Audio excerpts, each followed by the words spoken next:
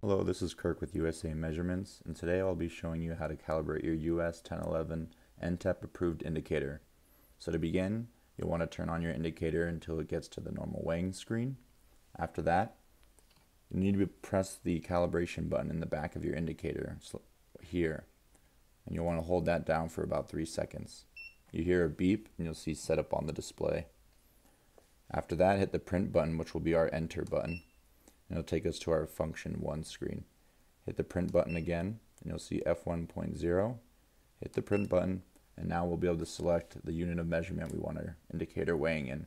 1 will be for pound, 0 will be for kilograms. We're going to select pound for this video.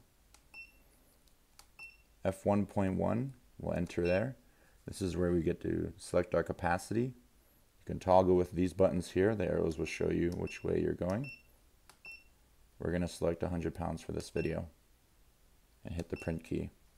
And we'll toggle up to F1.2 and enter that. This will show us how many decimal places we would like to be weighing in. We'll select one decimal place for this video and enter. F1.3 will be where you select the increments and what you would like your scale to be weighing in. So we'll pick one increment for this video. Enter move up to f1.4 and enter that. At this point, we'll be capturing, capturing our zero point the scale. so at this point, you don't want anything on the scale. Hit the enter button and it'll do a countdown to capture that zero point.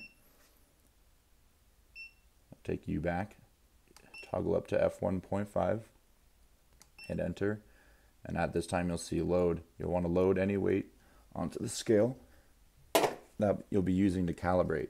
We're using a 50 pound weight. We'll hit enter and now you'll want to enter that amount that you have placed on the scale.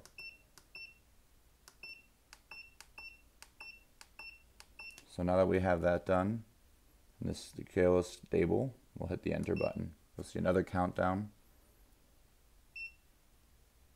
And this will be the end of your calibration.